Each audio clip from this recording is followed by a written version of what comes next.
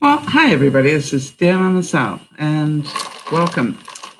Today we're going to be talking about how we reuse and recycle things. So, if you are big into that, feel free to join us, and uh, hope that not only that you get to share some things, but also that you actually get to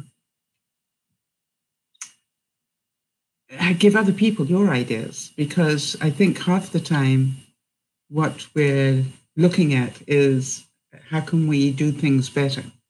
So we're going to be getting onto that in just a little while. But while we're waiting for people to get in here, um, we've got a couple of updates and things that we like to do. And of course, the first thing that I really want to say is Happy Mother's Day to those of you who might be ghosting at the moment. For those of you who are in North America, I know that if you're in Europe, this is not Happy Mother's Day. So uh, we'll, try and get that one sorted out uh, and get a Mother's Day wish out to the Europeans at a better time.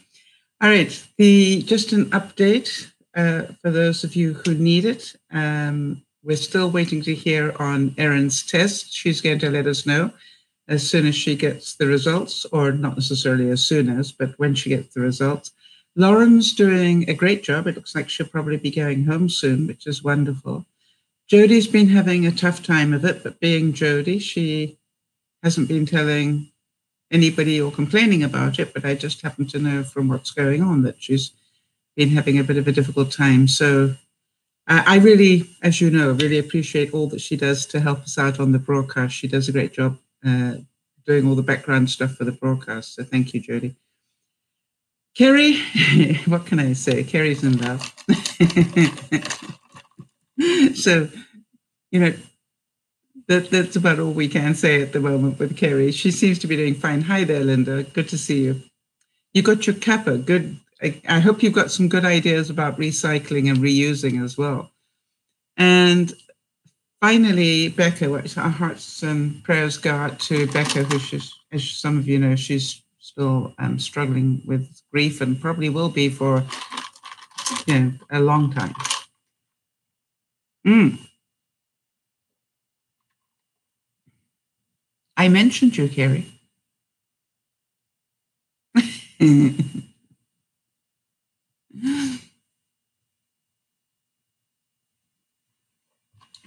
Do you want to know what I said?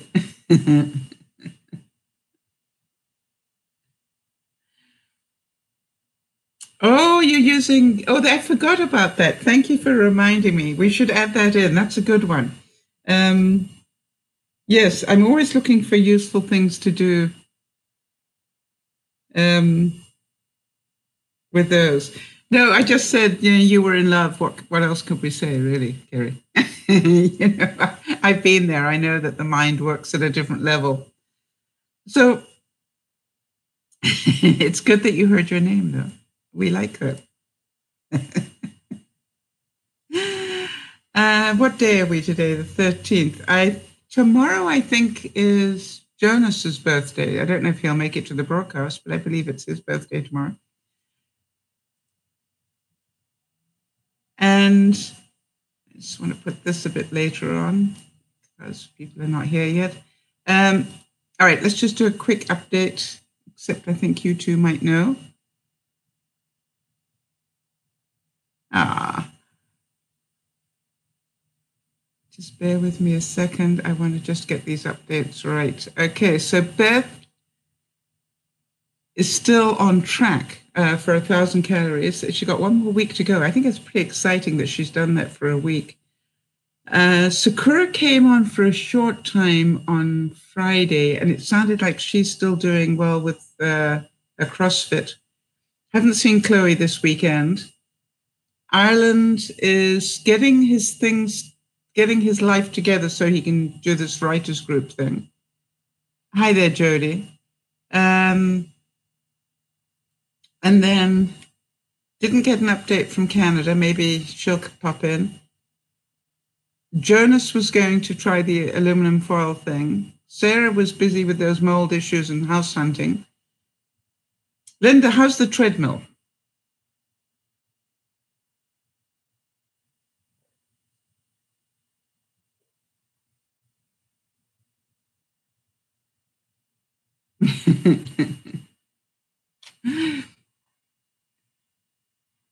it's interesting. Um, I, I've heard that you're still loving it. That's good. I've heard that 75% or more of people who own a treadmill use it to hang clothes on rather than do anything on it. So um, let's check with you in six months' time and see if it's become, uh, if, if you're still using it to that degree. I hope you are because it'll be great for your body if you do.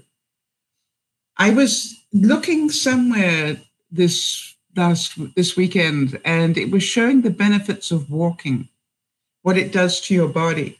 And so, you know, if you're on a treadmill, that's a great way to do it.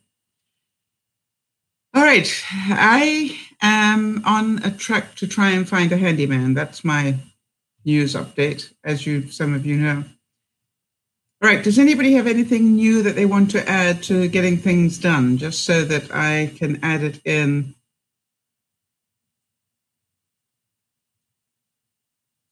If anybody's got more stuff that they want to add so we can keep track of it.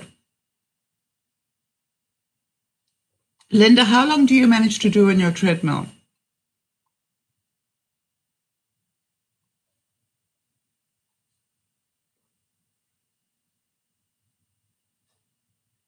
Now, I'm actually very proud of myself today, but I'll actually I'll talk about that in a second. I, I achieved something today that I've one of those things I've always wanted to do and never could, and today I did. So, and oh, oh, do, do any of you want to know that I had a major trigger? Your laundry's done good. So, okay, Kerry, so we should put you on that list. Okay, so you but you've got all yours done. Have you got anything ready for this week?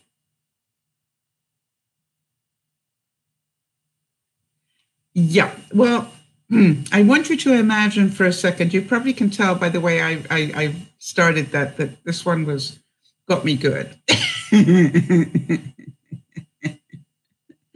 so I was off shopping yesterday, getting stuff ready to do the stuffed burgers today, and you know, I had a lot of stuff in the car, and I came home. And when I came home, my front lawn was covered in for sale signs for the property across the road.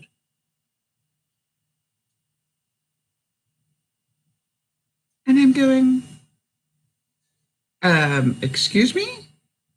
Did anybody ask my permission to do that? So, being who I am, what do you think I did?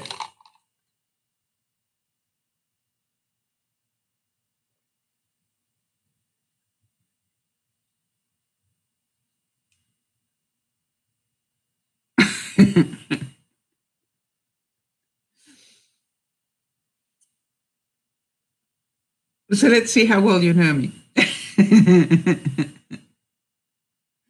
First of all, if you had come home and found, you know, some realtor signs all over your lawn, hi there, Erin.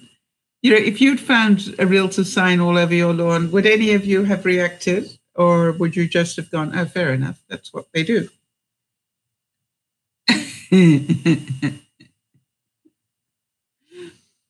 anyway, so I took a little walk. yeah. I took a little walk. I left the groceries in the car and I took a little walk across the street. And um, I I knocked on the door of the property and this realtor um, was standing there, and I said, Hi there. I said, I just want to check. Um, did you ask permission of anybody across the road to put your signs on, on their lawn? And he said, No, we don't have to. We do it all the time. And you know, it was the arrogance of the way that he said it. that really, you know, if he'd said, gee, no, I really should have done that. And I really apologize. Is it okay? I might have had a different reaction. But because he was so entitled, I said, well, I'd like to just let you know I'm the owner of the property across the street. And I'd like you to get your signs off my property, please. What? I said, I'd like you to get your signs off my property. Now,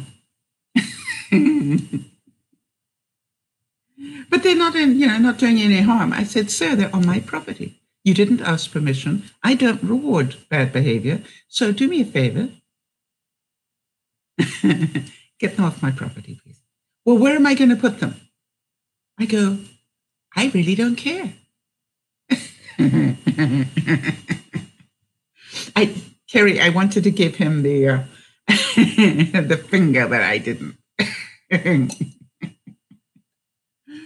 mm. And so then he then he did he couldn't resist it, right? He said, Well, you have yourself a nice little day. Why don't you? And I burst out laughing. I said, Hey, that's so kind of you. I sure will.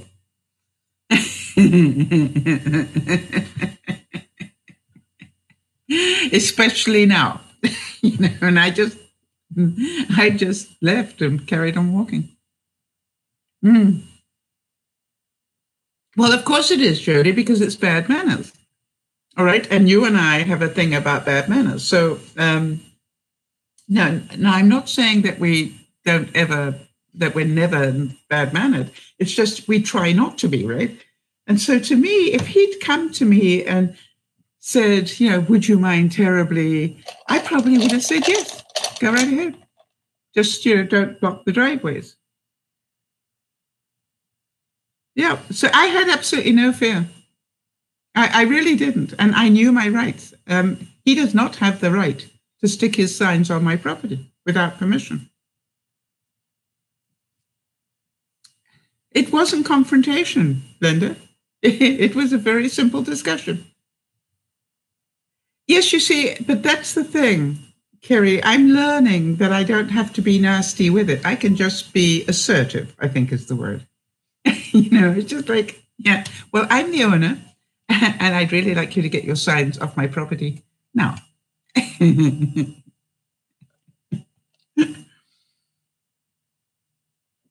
so, do you understand though that most people wouldn't dare do that?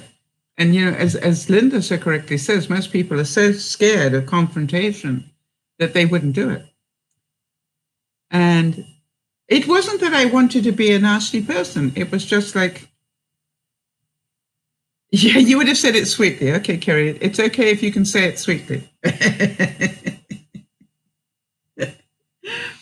All right, so I don't think we've have we got anybody here that we hang on, let me just see who's here. Boom, boom, boom. Okay, so there's nobody here that doesn't know who we are. Oh, I don't know what I just did. Um, so, hi, Beth. Yeah, you see, you would have just taken the signs and done something. I wanted to make make a point. I, I didn't want to just return them because I can I tell you why, Beth? if for any reason, if for any reason those signs went missing, um, I, I, I removed them. I wanted him to remove them. That's just me. I'm just a bit funny like that. All right, so if there is anybody ghosting right now, welcome. And we do welcome you to join us. You don't have to say anything. I'm glad if you're listening. And we are about to do a little bit on reuse and recycle. So we're going to do that, and it's now 1420. Jody? Um, I want to start off with a couple of facts that I thought some of you might find interesting. Did you know that Americans throw away enough garbage every day to fill 63,000 garbage trucks which, if lined up from end to end for an entire year, would stretch halfway to the moon. Can you believe it? And that is a bit of survey that was done by students of uh, Utah University. I don't know about you, but that's quite a lot of garbage. and then I went looking. yeah, I'm not surprised. I wasn't surprised either.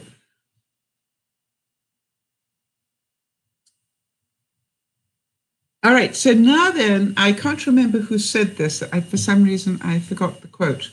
But um, this is what I found as well, and I thought this was relevant. Being environmentally conscious on recycling day and sorting your rubbish and your compost and your recycling and general waste bins, it's fantastic. But it is important to think about producing less rubbish to begin with. How many of you agree with that? That that you've started to think about how do I create less garbage?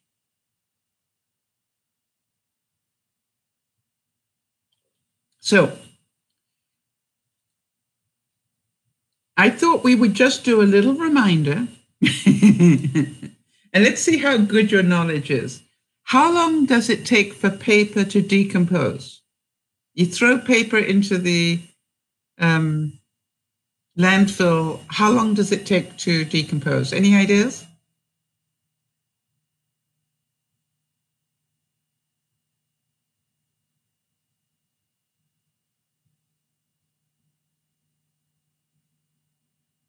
That's great, Linda. Hi, Canada.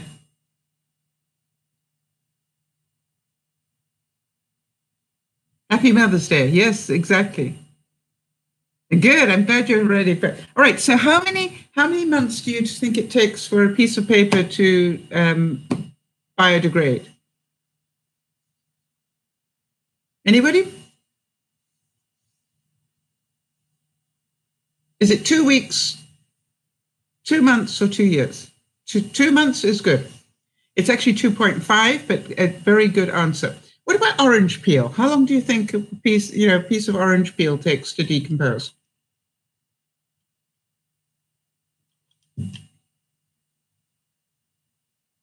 Six months, a year, two years. Yeah, it's close. I got to work out how to say that. Do we call you Nader now? Yeah, orange peel takes six months.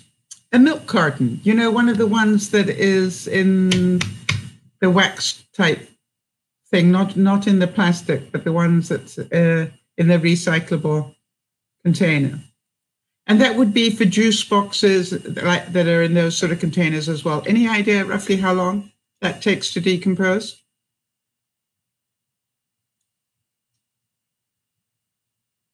A year? Yeah, well, that would be good. It actually takes five years. How about that? What about a cigarette butt?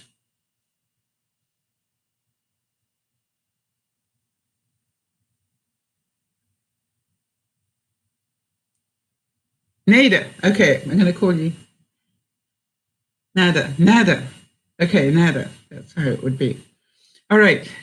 Uh, a cigarette butt, 10 to 12 years. Can you believe that? And the same for a plastic bag. It Takes 10 to 12 years. Actually, a plastic bag takes 10 to 20 years. Sorry. How about a disposable diaper? This one shocked me.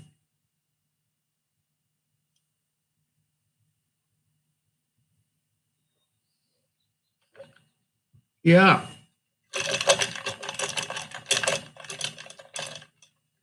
A disposable diaper. Two or three years, you guys are saying.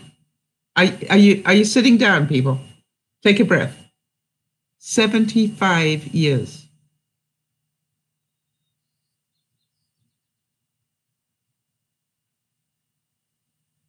Isn't that terrible?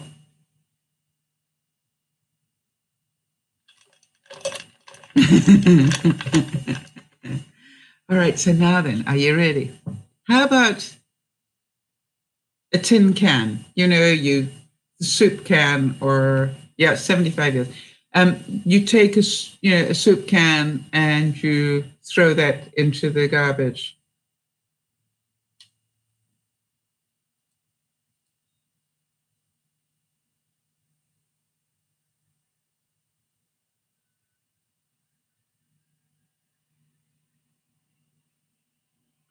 What's your best guess for a tin can?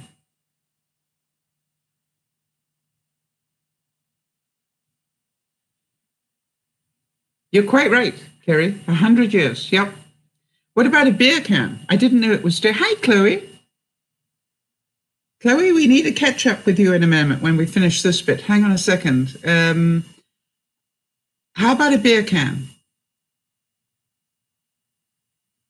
I, I, I don't know why it's different. Yeah, Chloe, apparently it's two to 500 years. Chloe's right.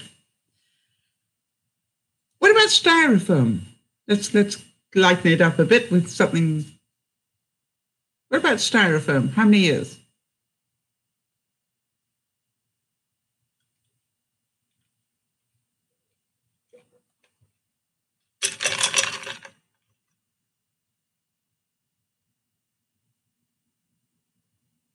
I don't know, Linda. That's what I wanted to know. Why is a tin can different from a, a, a I guess, oh, because a tin can is made is not made from aluminum or aluminium, depending what country you're in.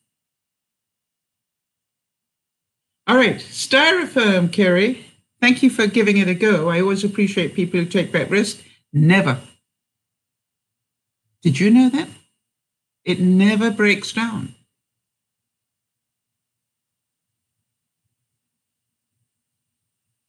So generations later, they will find our styrofoam.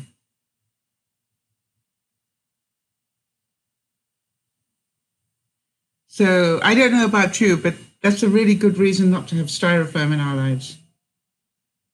Then why do they even make it? I agree.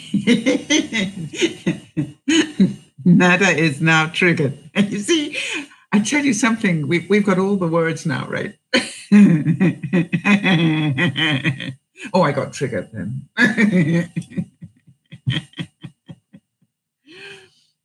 Tin is a natural element. Thank you, McBrucey. I appreciate that. Um, yeah, as opposed to aluminum, which is, or aluminium, depending on which country, um, you know, which is a different metal. So what about glass bottles and jars?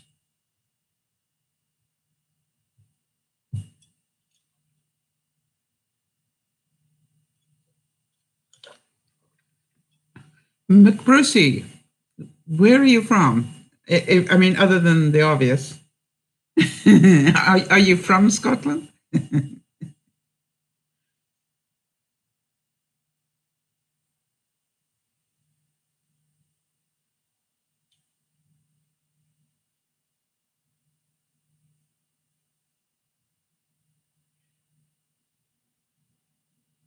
Yeah, Linda's correct.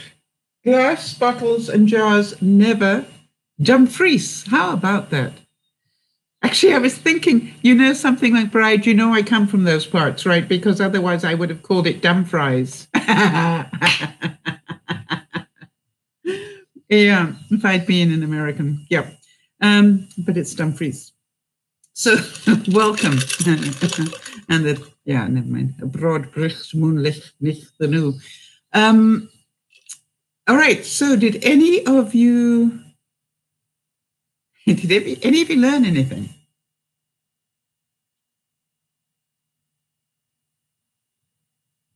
There's not much point in my doing this research for you if we didn't learn anything. How many of you are going, I don't want to use styrofoam anymore? Hmm. All right, now I did find some, this is pretty old research, but I thought it was interesting. I found some research. Yeah, we need to teach more recycling, to, not only to kids, we need to teach it to us. I'm sorry.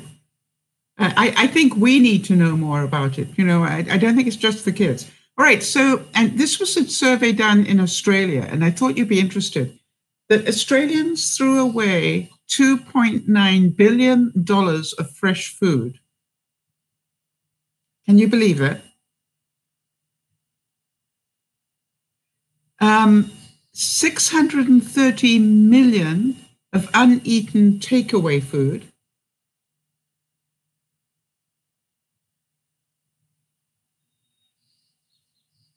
They say that $876 million worth of leftovers.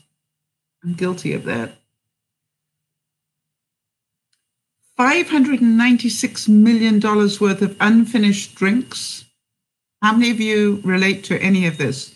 $241 million worth of frozen food. That's what I've been doing, throwing away my frozen food. A total of 5.3 billion on all forms of food. It represents more than 13 times the $386 million donated by Australian household to overseas agencies. So, do you understand that we could all save a lot of money by buying less and eating what we buy? How many of you know you're guilty of it?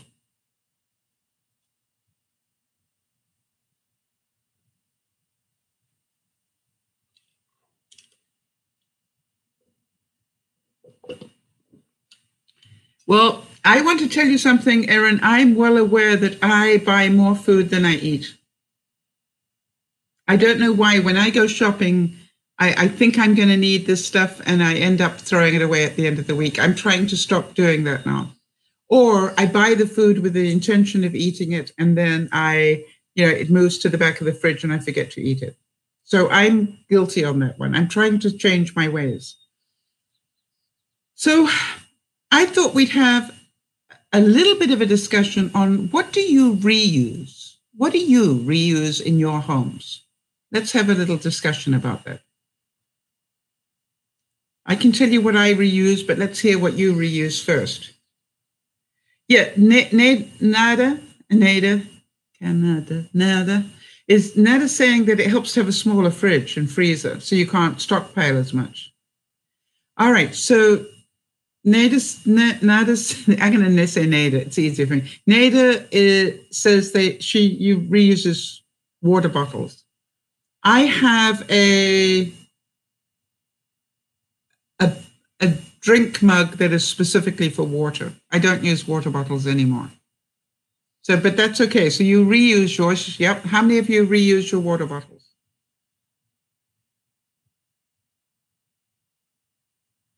Yes, Jody's saying that sometimes she buys too much fruit and it goes bad before I can get to it. Um, I find that uh, I've started buying more frozen fruit for things like um, smoothies and things. So the only fresh fruit I buy is that that I'm going to eat in a hurry right? So, for example, strawberries are in season. I will buy strawberries, but I'll eat them in the first couple of days and then I will move to frozen fruit. All right, good point. So, you, you reuse your plastic bottles, Kerry, that's good.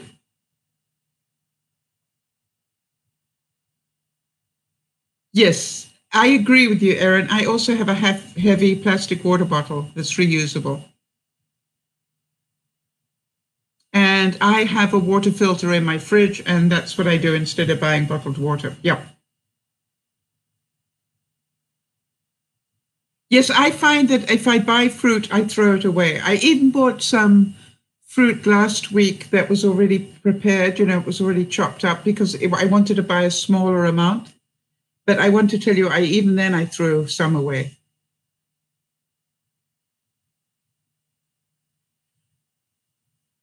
So, are you buying the sparkling water bottles at the store, or are you? Do you have a Soda Stream and making your own? This is Linda who's talking about that.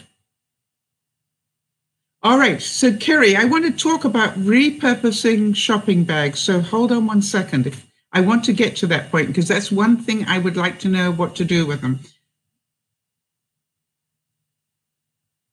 You like to do crafts with cardboard. Yeah, that's good. All right.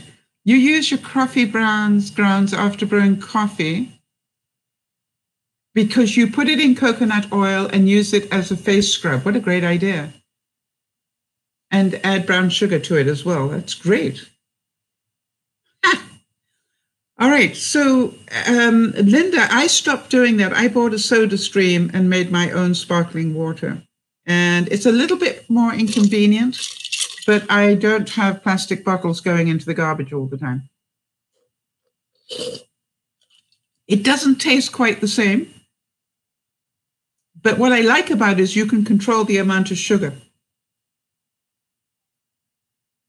And if you're just drinking sparkling water, you know, that, that's even easier.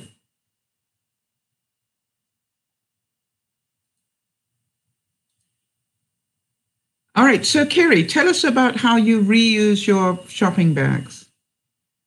And I just remind me, please, if I forget about it, I have a um, suggestion on shopping bags that I want to add.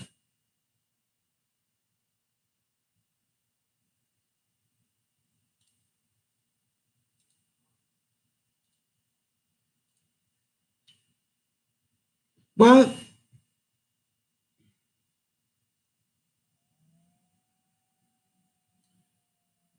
yeah, that's why I like the SodaStream, Linda, um, because you know it tells you to put three pumps worth of, of um, syrup in there, and I I put one, and it just flavors the water nicely. Thank you. All right, so you use your plastic bags, Nada, for donation items. All right. Yes, it's getting it's putting them to a second use. It's reusing them. Exactly.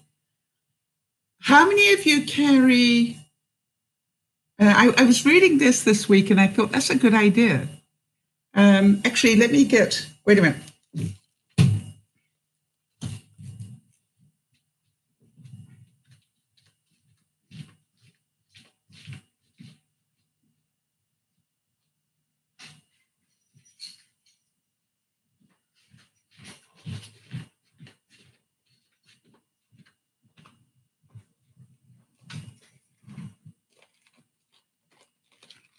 Now, I don't know about where you live, but here in Canada, they're charging for plastic bags now if you if you need plastic bags. So, how many of you take your own bags when you go shopping?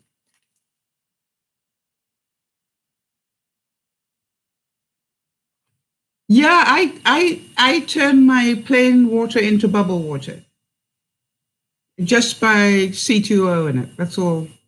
Yeah, you don't have to put stuff in if you don't want to.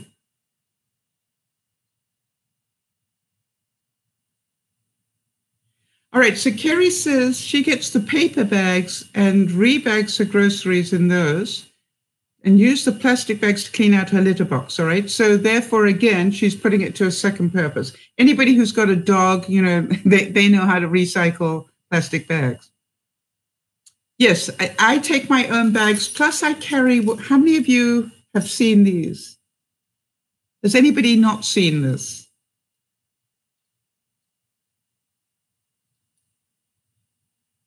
I've got a really good thing that I learned.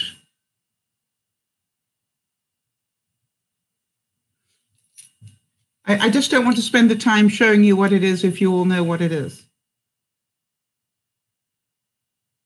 Okay, so you've got one of those. Okay, Beth. So here you go, Jody. Comes from Hawaii, actually. You just undo it and, I, and it actually is a shopping bag and a fairly decent size one. And when you're finished with it, when you're finished with it, you just literally feed it back in to its little pocket, which is really good for when you're just going for to pick up the milk or yeah something small. Isn't that cool? Now then, I didn't do that quite right. I nearly had it right. Wait a minute. Undo it again. I did it the wrong way. Story of my life, right? Um, so now then, if you'd like to have your version of this, this is what I saw somewhere, and I thought this was clever. Take a plastic bag and fold it and put it, you know, fold it as small as you can. Yeah, Amazon's got them. Okay, Beth. But you can make your own. All right. Just take a plastic bag and fold it five times. I think most things you can only fold five times. And then put an elastic band around it. You know, leave the loopies out or leave one of the loopies out and just put an elastic band around it and throw it in your purse. So I have this attached to my keys so that if ever I just need that extra bag, have you noticed that I'll take the bags that I want for shopping and I always need that extra one and I've always got it. And I also try and throw a couple of plastic bags in as well, just, you know, so that I can use them if I need to.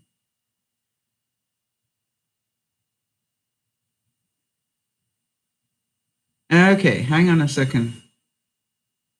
You also use your plastic bags to make a de-spooking tool.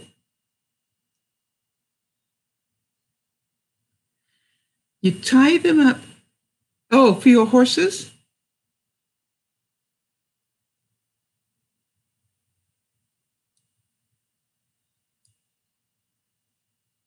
Okay, anybody else got a use for plastic bags? Because I, I just feel, yeah, that would make sense. Right. Um, does anybody not know what a despooking tool is? I had to think that one through, but I know what she meant. I had to I had to sort of think about it. What gave it away was the old riding crop, because I thought it has to do with horses, because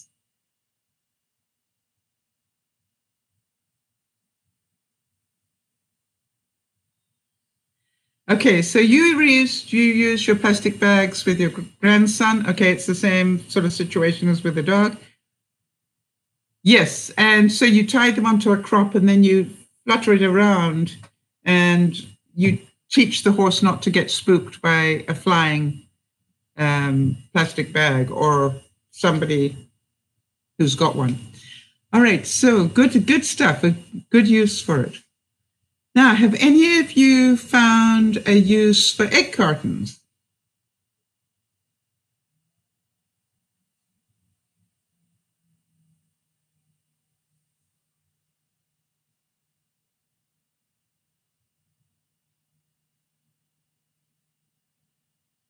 Yeah, you have cats and dogs. That's right.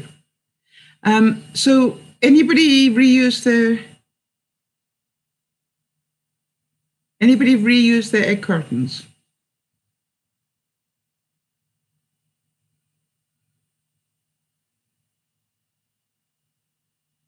Yes, uh, the the paper ones are really good for soundproofing. You're quite right. They're great for putting your jewelry in. They keep keep your jewelry separated. I use mine for my uh, K cups and my coffee maker. You know, I buy my coffee in bulk and then I put them into reusable K cups. Um, and then I put them in egg cartons. How many of you going, never thought of that one?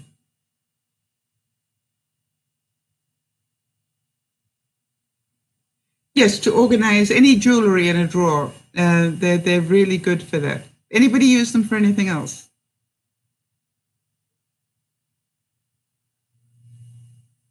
And by the way, egg cartons have two different shapes, right? You've got the bit where the eggs fit in, and then you've got the lid, and the lid is a totally different one. Um, so, you know, if you're organizing a drawer, you can put the earrings and things into the where the eggs go and the bigger stuff into the lid because the lid only, you know, has sort of almost without a divider in it. Makes sense. I know we're smart. That's why we get together and have these discussions, Nada. I also, by the way, use my egg cartons uh, when I finished with them for my painting. I, you know, I keep my leftover paints in little shot glasses. no, I don't drink the shots first. Um, but I keep them in little shot glasses with uh, press and seal over the top, and I put them into uh, the egg cartons. Does that make sense?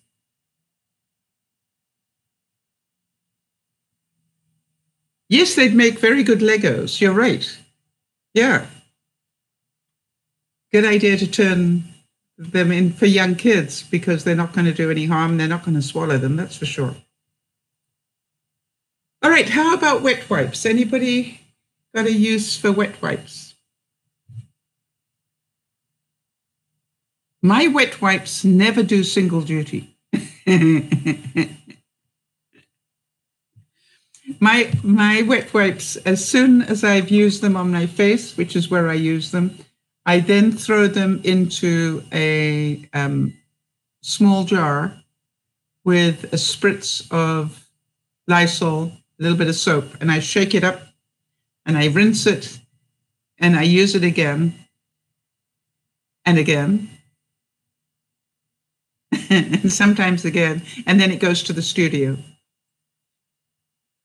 so that I can use it for cleaning stuff, uh, you know, cleaning out my paint containers.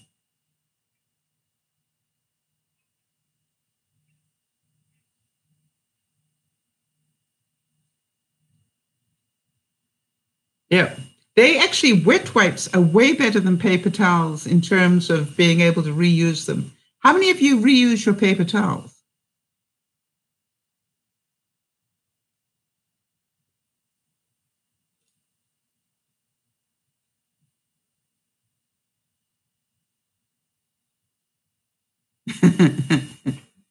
I want to tell you, I you know, it's amazing the things that I've done in my life, but I found that you've got to think about what you use. Your uh, first of all, I don't use many paper towels because I use face cloths instead of paper towels. Do any of you know that? I have a whole stack of face cloths that I use instead of paper towels. But occasionally,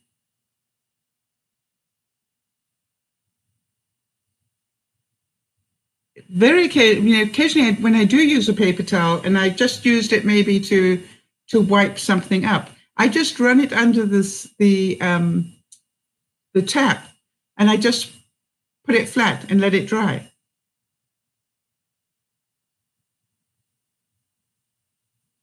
And, and you know you can use it two or three times if you do that. I mean, that sounds really picky, but I actually, most of my paper towels, when I use them, I use them and I throw them into paint cans, you know, because I'm an artist. So I buy a lot of white paint and black paint in, you know, household paint cans. And I keep those cans and I throw my paper towels in there. And then when I'm cleaning out my paint containers, I turn them upside down into the can with the paper towels in it.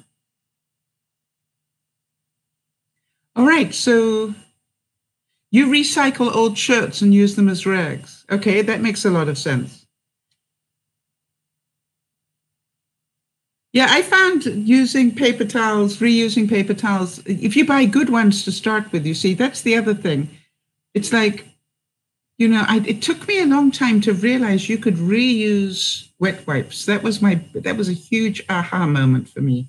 And by the way, wet wipes make really good Swiffer things as well if you want to use them on the floor. Um, you know, it's, it's amazing. So do um, face cloths. I buy big face cloths and use them as Swiffer dusters for the floor. So I buy my coffee in cans. Uh, I buy good coffee. I buy good coffee and then put it into K cups. But I also buy, I found that every now and then, if you keep your eyes open, they will put coffee on sale for like seven bucks instead of 16. I mean, it's literally half price. How many of you wait for that?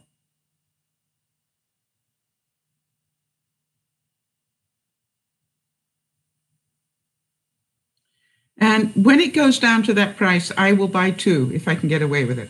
Yeah.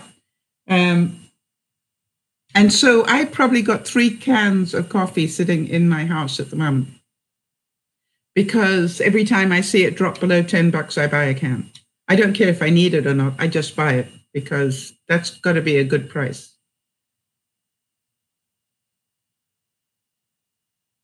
Yeah, I try. I definitely, and I normally have at least one, one or two in my house before that goes on sale again. So I, I've worked out a system that works quite well. So, do you understand what I was saying about my paints that I'm throwing them into my cans? Um, because I don't want to throw my acrylic dirty water into the system. Does it? Did you guys get that?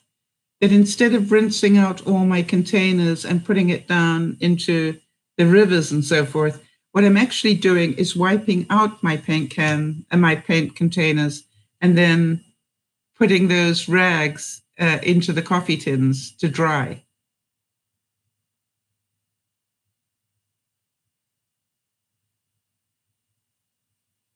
Yeah, you buy your, your coffee in bulk. Yes, how many of you are buying more bulk items than you used to? And I like the idea that Linda was saying that, you know, that the supermarkets now in, in, in England are allowing you to bring your own containers so that they can just fill it up with what you need.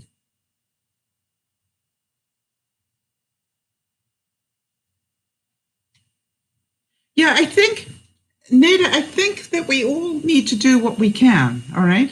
Um, I don't. I think it's like everything else in life. If if after this broadcast, if we all do one thing more, do you understand what an impact that will have?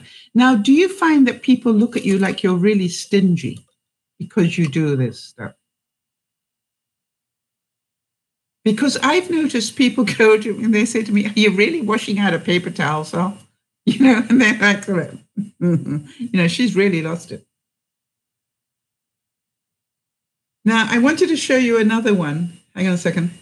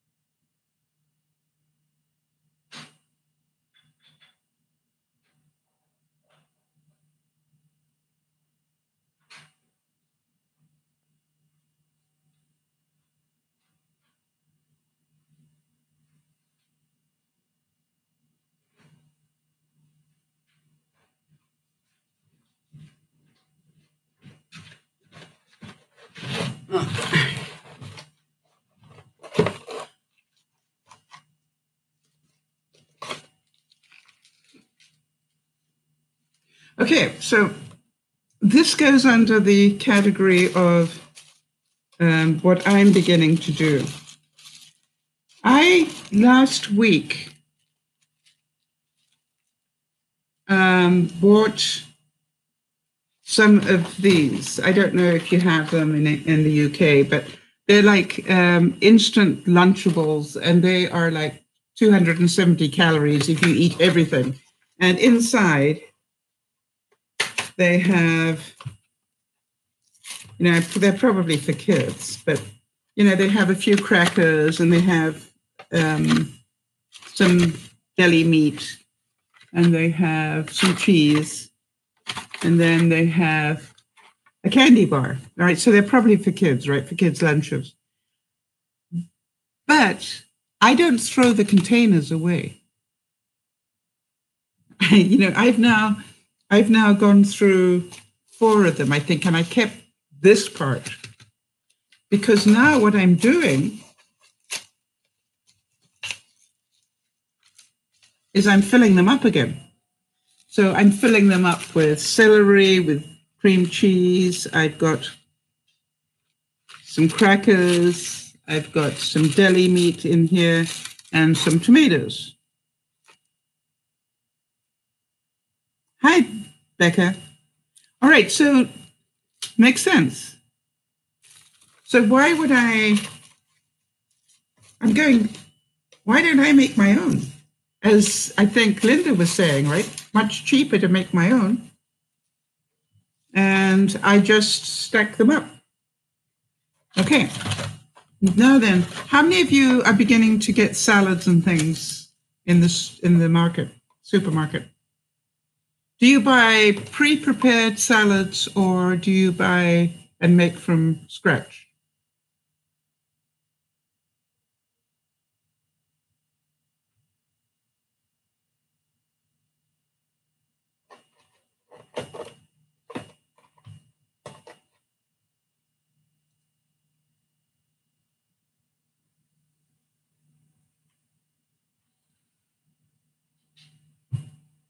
The reason I'm asking is they come, um, if you buy them pre prepared, two things. Happy Mother's Day, Kim. Yeah. They come in really nice size containers. That they, you know, I get some of my stuff in containers this side, and I get some of it in this size. Now, here's what I started to do. And Linda, what I found out was that if you buy it pre-prepared, this size will last me for at least two to three meals. You know what I mean? It's they're like they they fill it right up, and, and I just put it into smaller ones like this. But here's the point that I wanted to make. I am throwing away far less food since I started to buy it pre-prepared. I'm not quite sure why. I think because I buy less. So when I buy you know, the romaine lettuce and and the carrots and the this and the that and whatever. I find I'm throwing too much away. And that's why I've started going, okay, let me get the pre-prepared and let me divide it up into bite-sized pieces. Okay.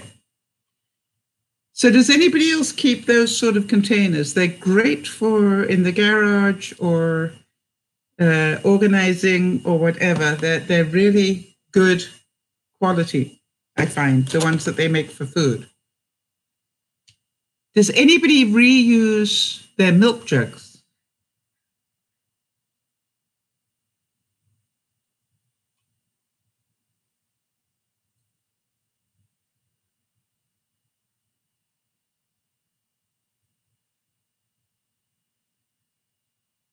Okay. I saw this done one day and I thought, huh? And then I did it. Yeah. I use mine as containers. So what I do is this is where the the the bit at the top is normally. What do you call it? The screw lid. You just cut it down to where that line is here and then you just cut it across. And now you can just put them in your cupboards like this.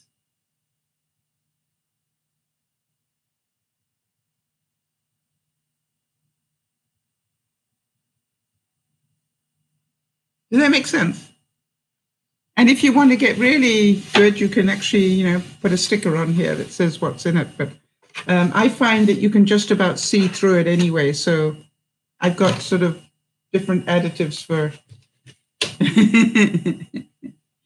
it actually is quite surprising. And how many of you know you can throw an awful lot of stuff into that sort of size?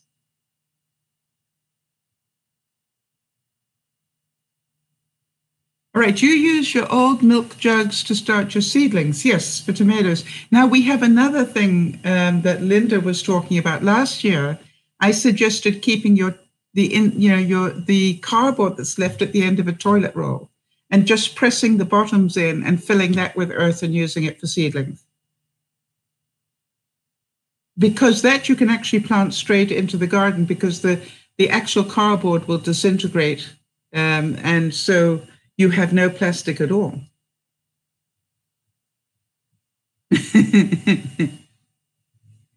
Just just a thought All right, so what have I forgotten? Yeah, we've talked about egg cartons. What do you use yours for, Kim?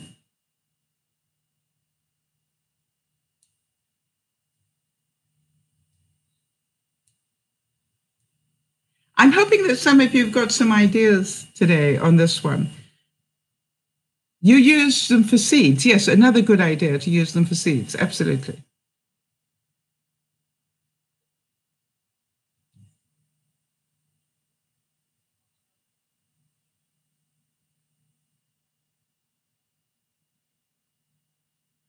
You're going to spend the rest of the year downsizing your possessions. Wow, I didn't think you. Well, that's a good thing. That's a good thing. Do you think it'll take the rest of the year?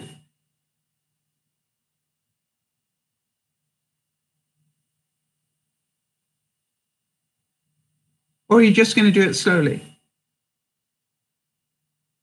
I know it's taking, it's amazing actually how much time it does take, but I have got a whole house full. But I would imagine that you're talking about a bedroom full, right?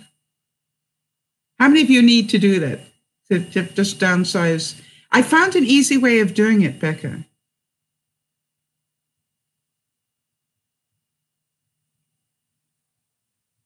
if you're interested.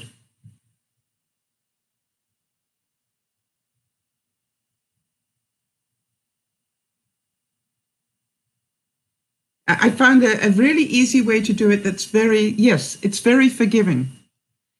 Um, how much do you want to downsize by? Like half or do you have a goal? Is it by a third, a half?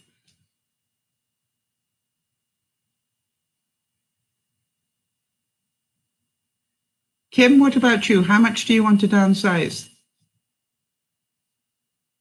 There's a reason why I'm asking the question. Three quarters of what you own, really? Okay, so that's a little that's a little more challenging. I would I don't know, Becky, but you might want to start with just half. You know what I mean?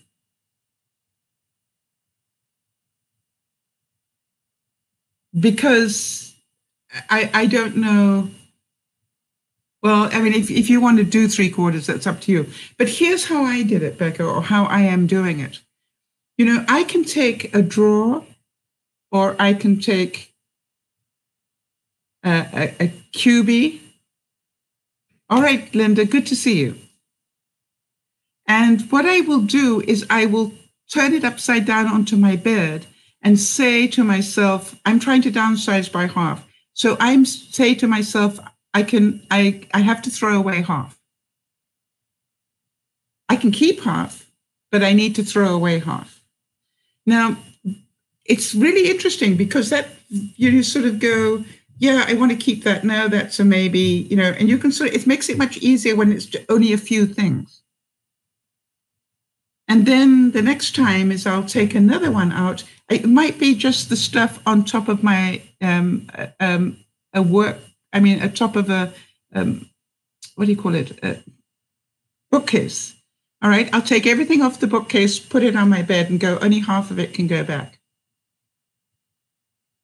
Or I, you know, I will take take my rag drawer. you know, I got a cubie full of rags, and I go, okay, only half of them can go back in. Which half do I want to keep? and, and Be- Becca and Kim, I found it really works well because you know the stuff you're throwing out, you it's much easier. You go, I can keep half of it, and you know it's pretty easy to see which half you don't want. now, occasionally, occasionally, Becca, you're going to come across something where it's full of memories. Now, if that is so, then I work on the averages. You know, I'll bring another box out and throw that out. And between the two, you know, I might have two cubies and I go between the two, I can only have one cubie left. Makes sense? Yep. So I, I think that you, I think that hanging on to your memories is something that you have every right to do. Um, I, I cannot imagine anybody's telling you to throw away your memories right? I still have memories. One day I'm going to pull it out for you guys. I still have a memory box from 40 years ago when I first started to speak.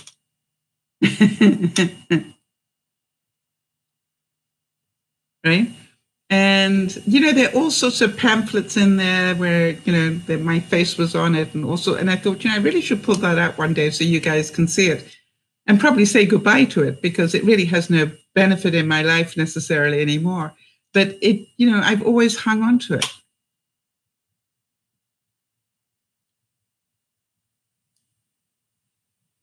Yeah, um, it's interesting, Kerry. You know, and I understand what you're saying. Kerry's saying that, that she owns more pajamas than clothes.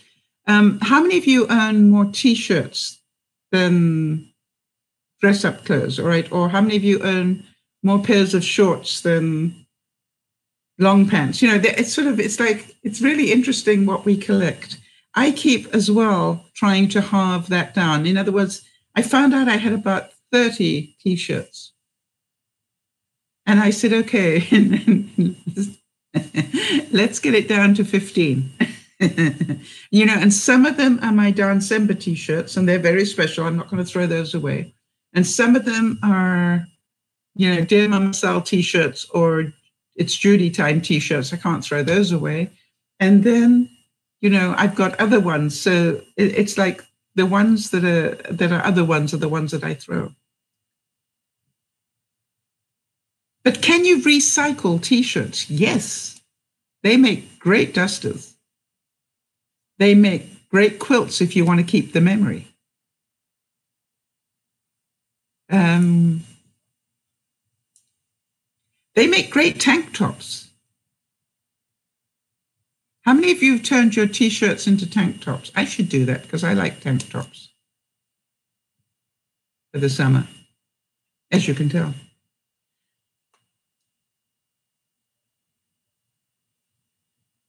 You do that, Kim? Actually, I was thinking I should do that because I wear an awful lot of tank tops in the summer. And um,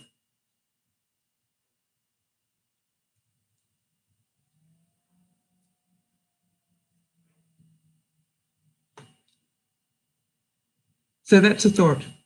And by the way, if they're too snug, you could cut them down the center and turn them into a little How about that?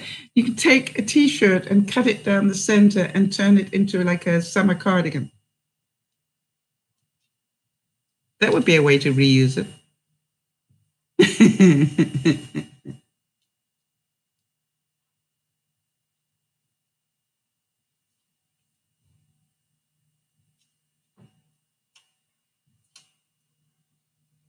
so I think that how many of you think you're reusing and recycling much more than you did 10 years ago?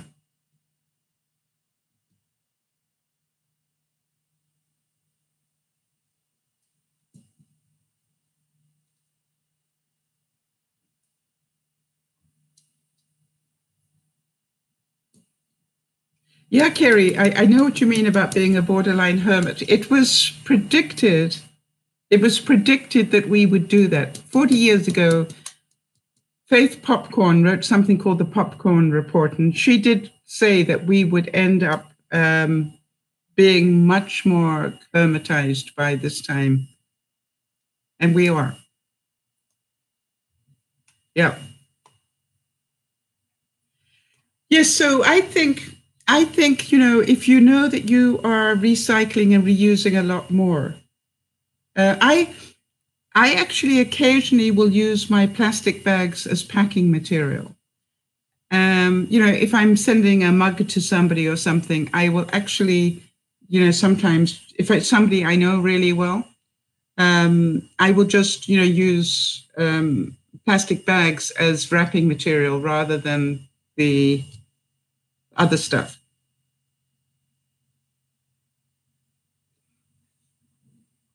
So I think the, our challenge is to try and do our bit, right?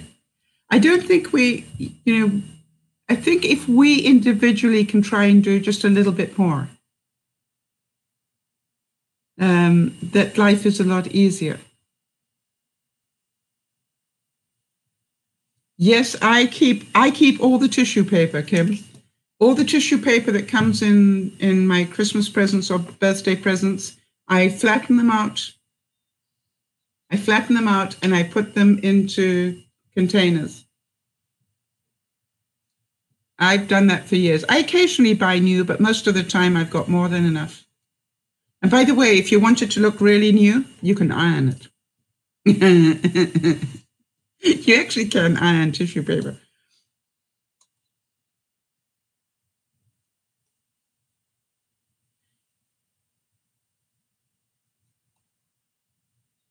So, may I ask you, what do you still throw away? Let's have a look.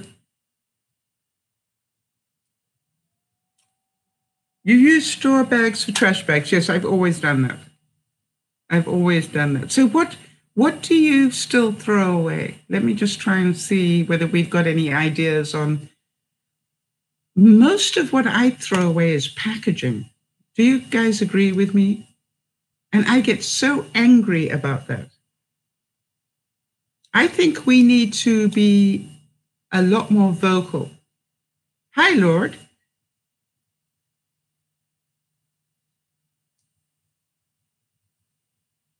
Yeah, I think sometimes, Lord, that, that it's possible that we do that, right? It ends up back to the person. Now, if you're really OCD, you actually put a little note on it to make sure you know who it came from. I think, you know, I look at packaging. I can remember in my youth that you could buy refills for mascara and it was about this big. You didn't have to buy a totally new mascara thing. You just bought the, you know, a refill for it and you squeezed it into the container. Um, I think if I if you look, you know, I was having that rant recently about you buy deodorant and how much of the deodorant do you really get and how much of it's just packaging. Um, it drives me insane. Uh, oh, I know what. Hang on a second. What have you never heard of? Oh, re- um, refills for mascara. That was back in the day. I've got to show you a good one. Hang on a second.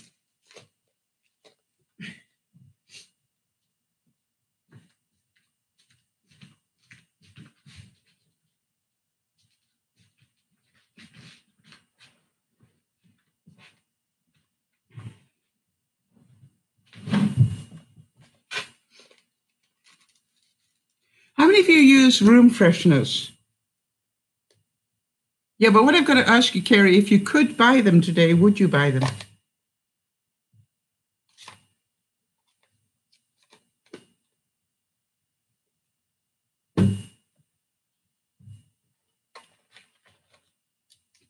I'm just going to see who makes this product. I think it's Air Wick.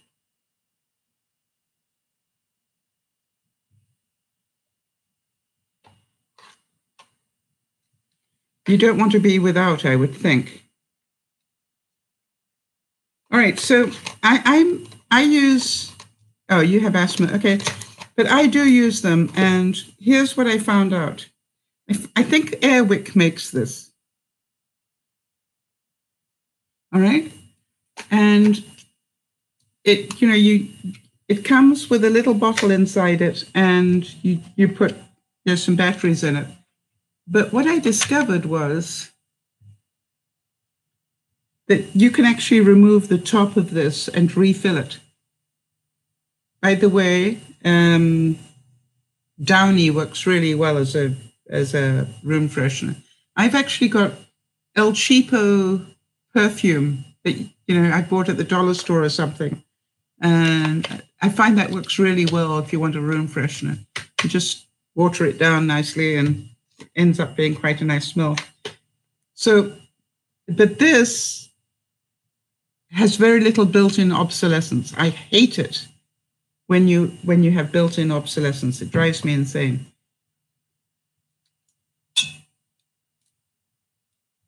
For example, have any of you got a WetJet?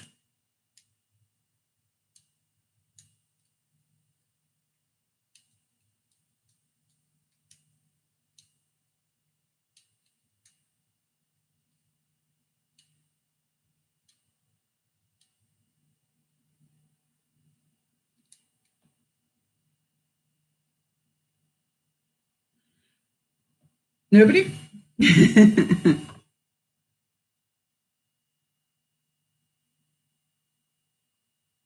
yes, exactly. I, I would mix it with some um, alcohol or something. I actually mixed this with, uh, because I realized the perfume's already got alcohol in it. Uh, I I mixed it with a, just a little bit of water, and it works. Um, you use a Swiffer mop, I, and you'd realize that you can wash the Swiffer.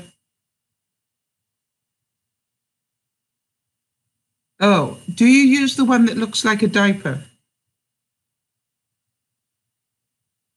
Kim? Because if so, try using face cloths instead of that diaper thing. It works really well.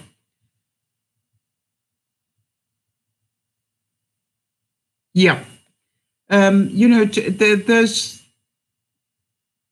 again, well, how long did we say it took for a diaper to, to decompose? Like 50 years? Yeah, you already do. Okay, good girl.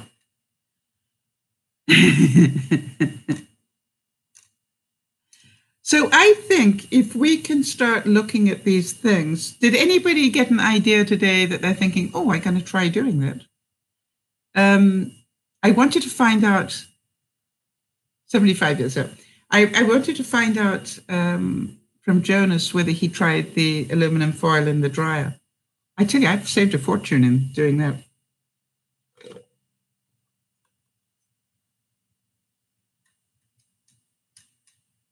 Now, for dinner tonight, for those of you who don't know, for dinner tonight, I'm doing stuffed burgers. Do any of you not know how to do that?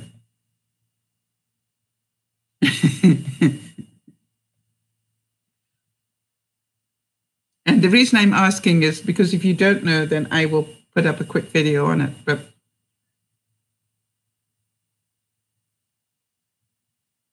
Yes, using microfiber cloths instead of paper towels. I use I use face cloths um, for cleaning cloths. I, I know that people just go and say and they go, "You've got white cleaning cloths." I go, "Yep."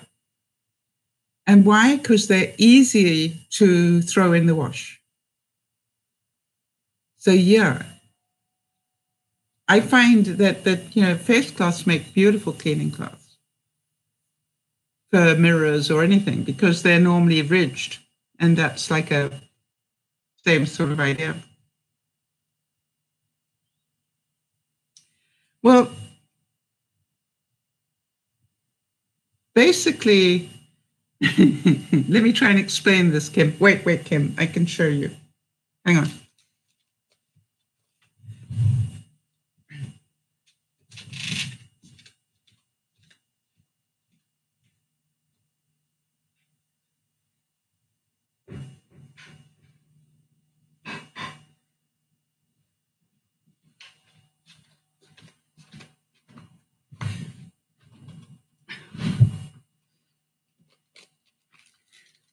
Now, I just want to tell you that if you haven't got one of these and you like burgers, then go to any of my Amazon links and go in that way because you know it's a good way of supporting me without costing you any money.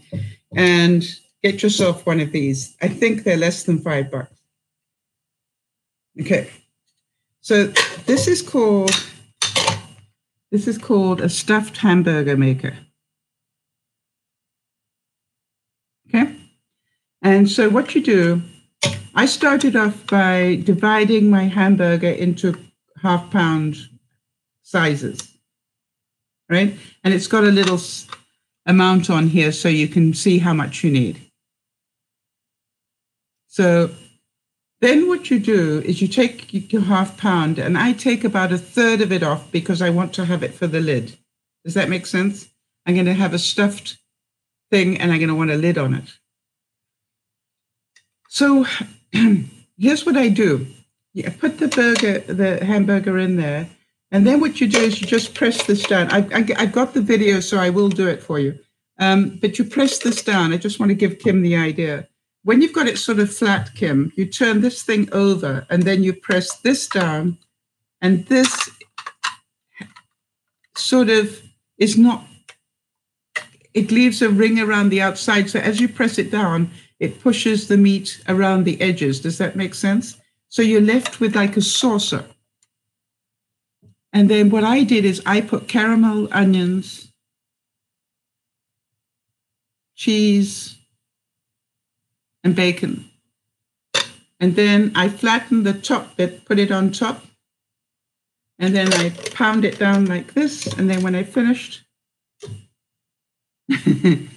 actually, when I finished, I turn it like this, take that bit off, and then here is my burger. It's a big burger.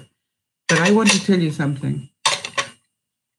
You can put anything in there. Um, I I actually asked um, people what they want, and I had one person asked me for cheese and mushroom. I give them a choice here. Uh, one person wanted cheese and mushroom, and I've got three that want um, caramel, onions, and cheese. But I was saying to Jody, you know, you could put in, yeah, you know something, you know, if you want to support me, just go through one of the links at the bottom of any of my videos. You don't have to buy anything with my name attached to it. Just get yourself one of these, and just because you went through my way first, they will support me. It won't cost you any more. But I'm not joking. This is less than five bucks if you're interested. So, and they make all sorts of different quality ones, right, or different sizes. So to me, I had never done stuffed burgers, but I can't do regular ones now. do, do you know what I mean? It does spoil you for a regular burger. But what I like about it is I don't want the bun anymore. Do any of you relate to that? It's like, just let me have the burger. I don't need the bun. so to me, it's sort of like, um, it's changed the way I eat burgers. It's really tasty. No bun necessary. You're right. And when you get to that middle part, that oozing cheese and carameled onions and bacon, you know, you're going, thank goodness summer's here. and the question is, what are you going to serve it with? So, um, again, I, I gave a choice today. Either you could have it with salad, and I have various salads, or you could have it. Um, I, I can do mine. Sometimes I just take bamboo sticks and I put on cubed potatoes, you know, new potatoes, um, yams, butternut squash, whatever. You know, I want to tell you, you barbecue those drizzled with a little bit of honey.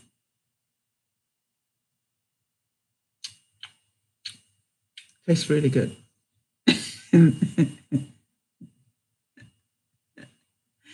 oh, by the way, Jody and I both recommend um, instead of using regular oil, try um, sesame oil.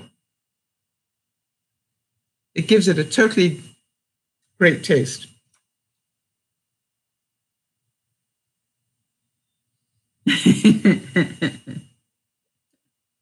so it should be fun. Now, sometimes the burgers don't stay together quite as well as I would like them to. I've got to be quite honest, but you know, nobody seems to care. Yeah, it does take it to another level, doesn't it? It's the same thing if you have Holstein. Is it Holstein sauce? I throw that in stuff occasionally. YouTube makes you hungry. No, you get hungry when you watch YouTube. Don't blame YouTube. so, for those of you who didn't hear, I got well and truly triggered yesterday, and I owned it, and I understand why.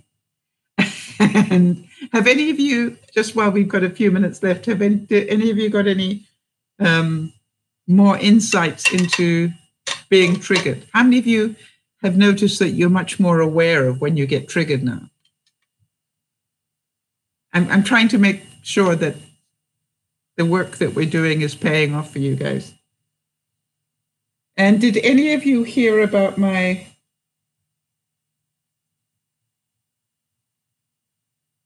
Everybody eats on YouTube now. Did Did you hear about my art disaster of the week? Yes, you're so aware of it now, Jody. Yeah, and you know something. That's why I wanted to talk to people about triggers. Oh, by the way. Oh, good. Okay. I actually, this is one of the containers that I reused. I made my own corn. Um, I made my own tortillas today. I've never made them before. And what I did is I wrapped the uh, inside. I've got cream cheese and deli meat. So this is my new way of making a snack. So can't believe I actually did it. it's like it took a lifetime for me to do that, but I did it. So that's all ready for a snack. I have no idea. Seriously, so get it back on. Yeah. For those of you who didn't, you weren't here for the story, um, I came back from shopping yesterday and found a realtor had put signs all over my lawn for the property he was selling across the street from me. And I don't know about the rest of you, but it was like, really? You just decided you were going to do that? so you know I was not a happy camper. So what I did was I walked across and I knocked on the door and seeking first to understand. Because maybe Yvonne had given him permission, or maybe Wade had, you know, I just said, just as a matter of interest, I see you got signs across the road, and the property across the road. Did somebody say it was okay for you to put them there? And he said, No, we always do that. and I said, Well, I'm the owner from across the road, and do me a favor. That's my property you just trespassed on. Could you go and get your signs, please? Take them off my property. If you had been polite enough to ask me, I probably would have let you do it, seeing as you're arrogant enough to think that you don't need to get them off my property. Thank you. um, what was I saying on Friday? Sometimes we just don't have the words, right, to, to, to do these things. But I want you all to understand the last time I checked, what I do with my property is my business. You do not have the right to walk onto my property and stick your signs on it. How many of you understand what I'm talking about?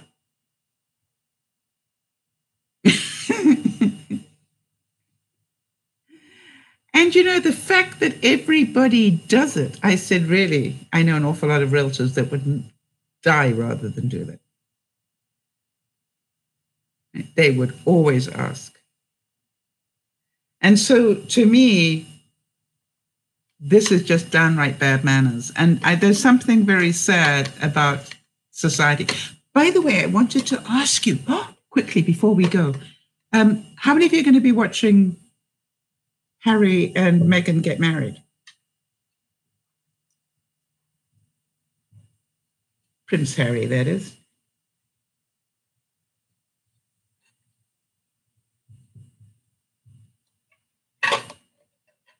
I want to know where the romantics are in the room. Yeah, yeah. Okay, so what is your best guess? What sort of dress do you think she ha- she will have? My I'm throwing out, I think she will have an elegant dress rather than a princess dress.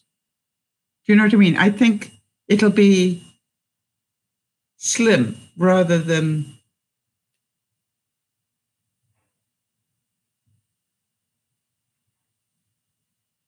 less is more, is what I think. Yes, a sheath kind of dress.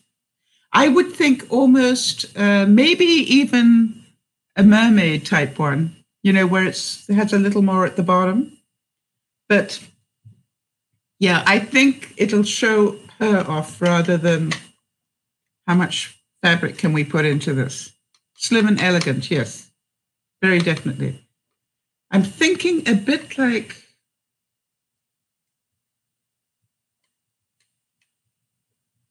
was was it Catherine's Catherine's sister wore a very elegant dress as maid of honor to um, Catherine. Yeah, that's what I think. And do we think that he will wear military uniform or will he be in the coat and tails type thing?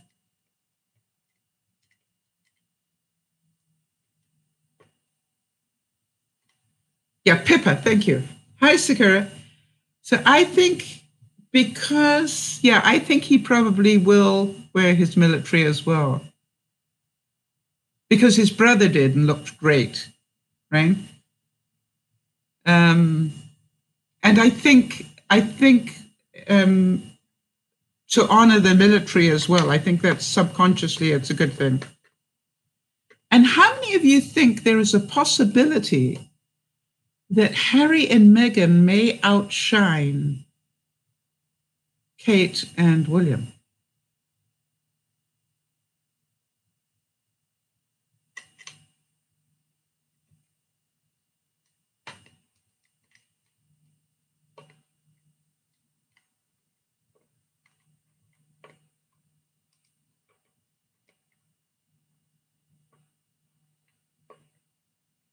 You've already set your DVR. Yeah, I think you know, there's part of me goes because they are going to be a lot more free to be human, if you know what I mean, rather than the pomp and ceremony that Kate and William have to keep up. So I'm thinking, yeah, I think they will change how how we see the royal family. Can you believe that in your lifetime, listen to this one, people, can you believe that in your lifetime the monarchy has allowed somebody who is divorced, of mixed race, and American to marry a royal. I don't know about the rest of you. This is like wonderful. That is really bringing the monarchy into the 21st century. you know, this is like about time. So I think, yes, I'm so excited as well. I think it will be, I don't know why I, I, I'm crying just talking about it. I just think that, yeah, I think that they are going to do a lot of good stuff. I really do. I think that he will continue to do things that would make his mommy proud. Do you know what I mean? You know, he lived under William's shadow for a long time you know, knowing that he was not the heir but the spare. And I think that he is going to shine. I think you're going to see him do more and more charitable work. I think you're going to see him do the two of them together are going to, you know, do so much humanitarian work. I, I think his mummy is going to be really proud somewhere. Yes, please do. We love to see those pictures. I think that Will has done a great job in honoring his mum. And I think we all miss Diana. Um, you know, she died on my 50th birthday, the night of my 50th birthday. And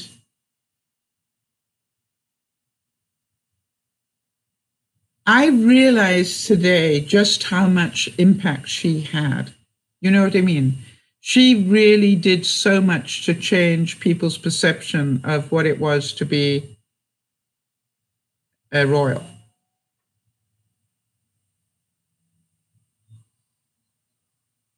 So, you know, I look at it and say, I think Harry will take, Harry will be, Harry and Meghan, I believe, will be a wonderful um, connection between the British people and the monarchy. I think that they will, they appear to really enjoy him because he's not, you know, full of pomp and ceremony. She was different in a great way. Yes, she was. And I think in her own way, she led the way for the monarchy to change. And I think that's why they didn't like her at the time because she told the truth. If you look at the pictures today, I don't know if, if any of you have been doing that, but if you look at the pictures today of the last few years of her life, I mean, without saying a word, she communicated how bad that marriage was. You know, she, she didn't have to say anything. Um, and then she got her own, she got her own power. And she just went out and started just living her own life, even though she was still married at the time. But she just went out and did the things she wanted to do, which were all, you know, charitable things. And whether it was landmines or whatever, she just did it. And she didn't care that she was a royal.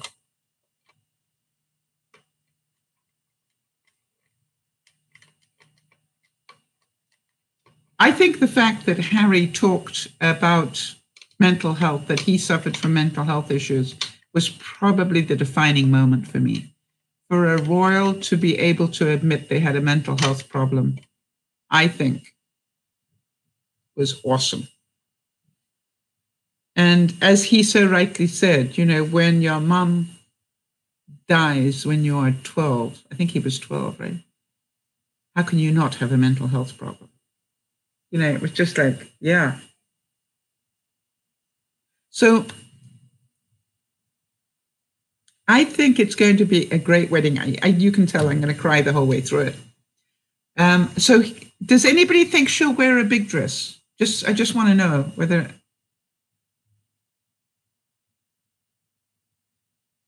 And will she wear white?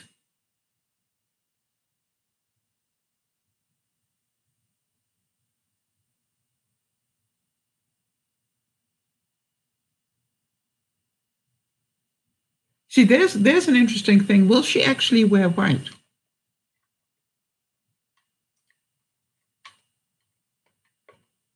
My sense is probably.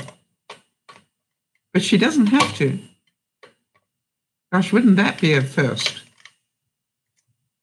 Yeah, I think she'll wear. Yeah, I, it would be interesting. I'm I'm going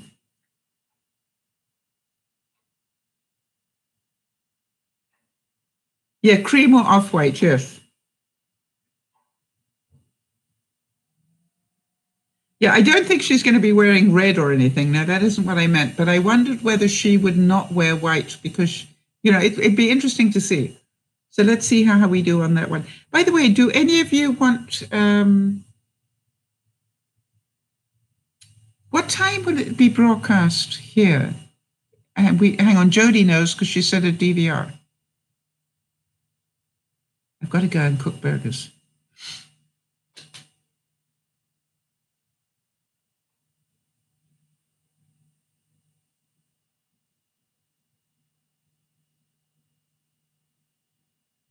By the way, did you know they already made the movie of it? Um, 6 to 11, that's 3 to 8. Yikes guess I won't be getting much sleep on Saturday morning. That's Saturday morning, right?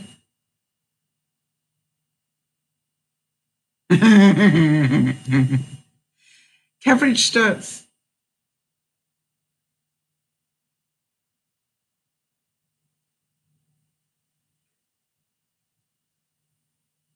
Yeah.